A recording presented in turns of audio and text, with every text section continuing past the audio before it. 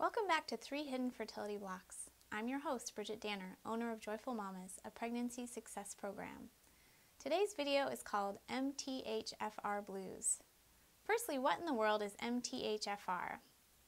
MTHFR stands for methylene tetrahydrofolate reductase, and it's a gene on one of your chromosomes. And its job is to make an enzyme of the same name. If there is a slight mutation in that gene, then there will also be a defect on the enzyme that is produced. This gene mutation is related to potentially many health issues, but we are concerned with those related to fertility and fetal development. You may have recognized the word folate and the MTHFR name. You may know that you should be getting enough folate to prevent birth defects. Natural folate is different than synthetic folic acid, which we'll learn more about in a minute. If you have a defective MTHFR gene, you're not going to break down folate very well. Folate is critical in sperm production and in the maturation and implantation of your fertilized egg. It also plays a part in the development of your placenta. So what can you do about it?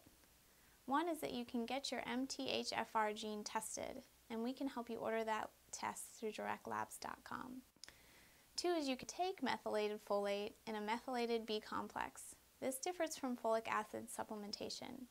You want to check the label that your B9 is in the form of methylated folate, not folic acid, which can build up in your bloodstream and lead to other issues.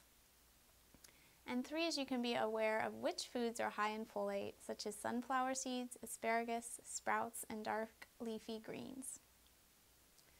For more information, visit our speaker Nicole Hardim's website, thehealthyelements.com, and search the word folate.